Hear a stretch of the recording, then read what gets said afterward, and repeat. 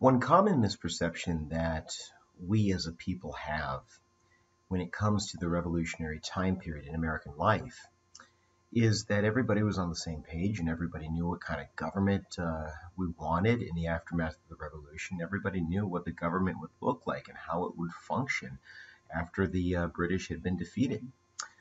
Nothing could be further from the truth, and there's an enormous amount of diversity of thought, as you're going to see.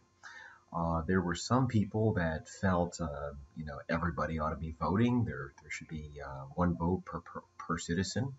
And there were other people that were very, very skeptical of that. And that's certainly something that we need to explore. Um, I want to begin our conversation with the, the term republicanism. Now, we didn't oftentimes agree on what the government ought to or ought not to be doing, but if there's one word that united us as a people in the aftermath of the revolution, it was republicanism. Now, I mean this with a small r, republicanism, even though if you're following along in the PowerPoint, it's got a big R next to it. I don't mean like the grand old party, Abraham Lincoln, uh, uh, John, uh, uh, Dwight Eisenhower, somebody like that.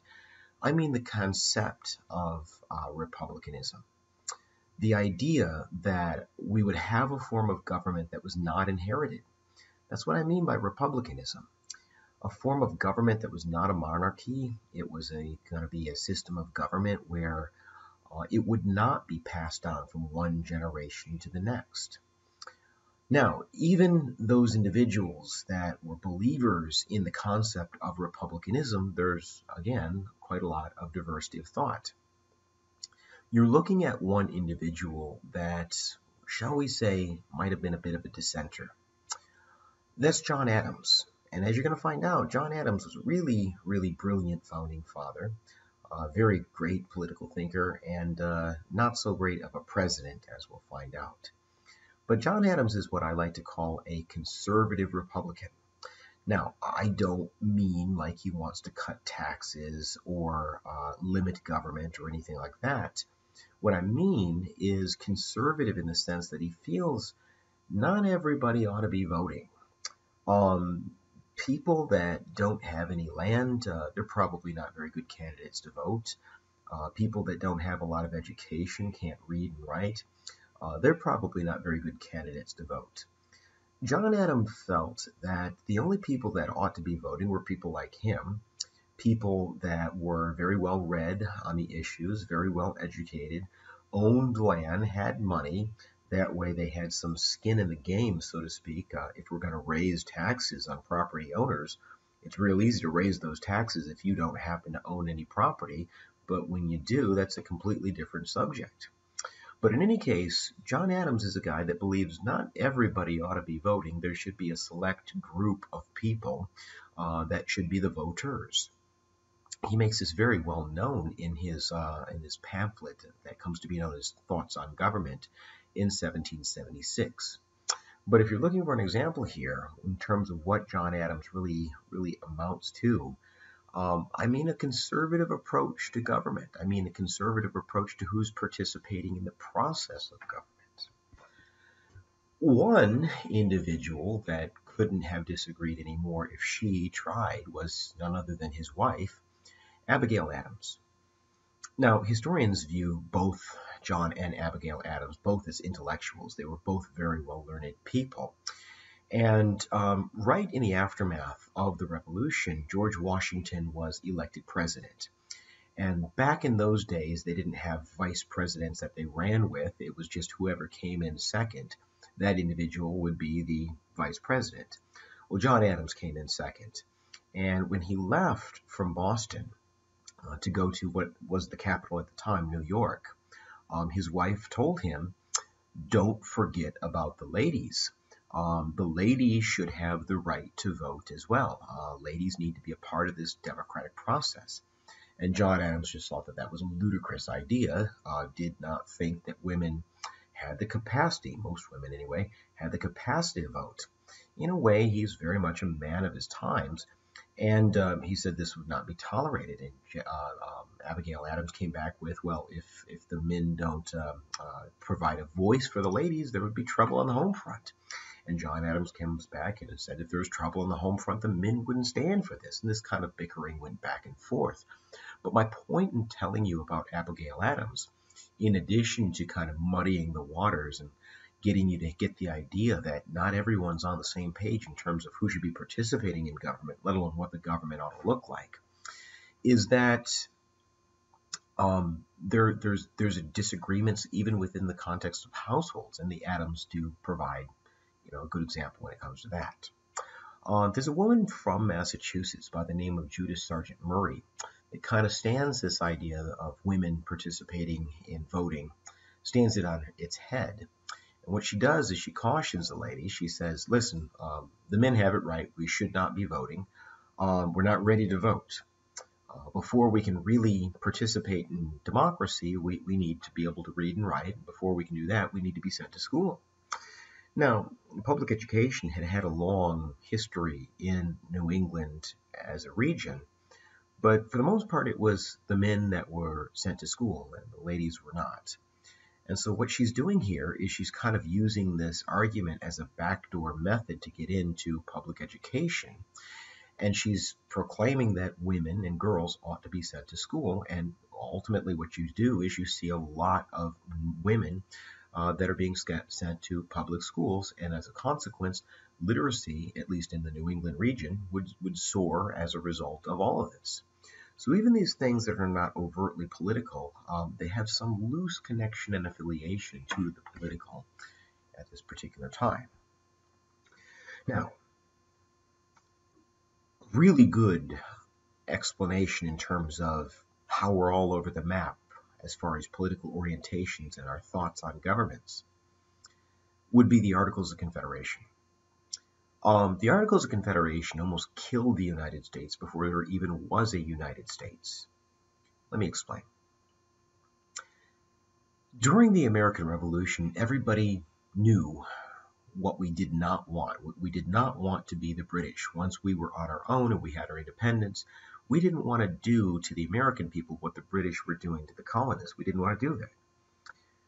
You can understand their thoughts. Um, they had been living under uh, what they viewed to be a tyrannical government for at least the last dozen years or so. Uh, they were fighting, at present, they were fighting against a big centralized power. And so what the Articles of Confederation did, and this is worth writing down, is it established a very weak central government, weak central government. Under the Articles of Confederation, the state government would be a lot more powerful and a lot more relevant than the federal, central, national government would be. The idea here is to decentralize power so that you don't make the same mistakes that we felt that the British had made with us if you make Virginians, for example, uh, more important, more relevant, more powerful as a form of government, as opposed to the federal government, uh, because Virginia knows you much, much better than those people in a distant land, um, that government would be far more reflective and far more responsive to your needs as Virginians. So, what I want you to understand about the Articles of Confederation is that in setting up a weak central government, it really only gives the federal government the power to do things like raise armies. It gives the federal government the thing, the power to do things like um, make treaties in between uh, the United States and other nations. It gives the federal government to make new states into full-fledged, fully participating states. But there's a few really important things there that you did not hear me mention. Number one, it did not give the federal government the, the power to tax people directly. Think about this for a minute. What good is an army if you can't put guns in their hands and bullets in those guns? If you can't afford to raise an army, then what good is the army? And if you can't tax, you can't raise armies. Um, the other thing you did not hear me uh, say was the fact that it doesn't give the federal government the right to regulate external trade. So what we've got are 13 different trade policies. Uh, what may have been taxed um, in, in Massachusetts, uh, textiles from Britain, from for example, there's, there's, a tax on them. They very well might not have been taxed in South Carolina. Um, each state could and did pursue its own economic policies, which made us a mess in terms of an economy. Lastly, you did not hear me say that the federal government would get the final say when it comes to resolving differences and arguments in between states. So if you had a border dispute, uh, both states claimed one city, for example, um, many times these, these disputes, these arguments could rage on for weeks and sometimes even longer than that. The federal government simply did not have any say. To put it another way, the Articles of Confederation were successful to a point, uh, to, to a fault rather. Um, they, they, they did set up a weak central government, a weak central government that proved to be a liability in the, in the big picture. Let me explain what I mean. Having a big central government has never really been a popular concept. I mean, I don't know about you, but I never feel really, really great when I sign a, uh, a check to the IRS and pay my income taxes. That, that, that, never puts me in a really great mood. But you know, I, I do like having things like a, a um, like a, like a military to defend us. Um, I like having agencies that the government uh, organizes that make sure that uh, the food that I eat or the air that I breathe is safe. Um, so every once in a while, it makes a, an awful lot of sense to have a, a government that's capable of organizing a society. They, meaning the American uh, uh, uh people, in early American history, got, got a very good example of why every so often it makes a lot of sense to have a strong federal government. In 1787, in, in, in an event in Massachusetts that's known as Shays' Rebellion, Daniel Shays was an, an, an officer in the colonial army. He was from Massachusetts. And he was very bitter in the aftermath of the war because the government just never paid him for his services.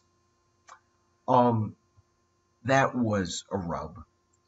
But what was even more embittering is a, uh, a faraway government uh, had the audacity to tax him by faraway government, I mean in Boston. He's in, he's in Western Massachusetts. This faraway government is is all the way in Boston. So goodness knows what he must think of the federal government. That's like in a different universe or something. Anyway, what Daniel Shays does to display his discontent is he gets together with um, other embittered individuals like himself, and they go on a rioting spree. And, um, you know, I mean, it's, it's going to rage on for weeks here. As a matter of fact, Massachusetts uh, is going to be forced to put down the rebellion in and of itself. Um, and it's going to take them weeks to do it. It'll, it'll, it'll rage on into the following year, as a matter of fact. Now, think about that for a minute. If we had a situation that even came close to that, what the governor would probably do is call in the National Guard. Um, in other words, uh, every once in a while, it makes an awful lot of sense to have a strong central government. Uh, you're stronger as a group of people when you've got a stronger national government. And Shays' Rebellion demonstrated that a stronger federal government would have been able to deal with that situation much more effectively than what happened in Massachusetts. But the one maybe silver lining that the Articles of Confederation actually did give to the, the federal government is going to come in the West. Now, if you were with us the last time, you heard me say that one of the things that the British did to get us to sign quickly for peace in the Revolution is they threw in all that land west of the Appalachian Mountains. That was the land that we had our eye on for a long, long time. It was one of the reasons that we agreed to fight in the French Indian War in the first place. Because the Articles of Confederation gave the federal government the power to organize new states, uh, the federal government had the right to sell that land in the uh, the Old West um, to organize into future states, first territories and eventually states. And so what it does is it begins to sell that land, and it sells it very, very uh, cheaply.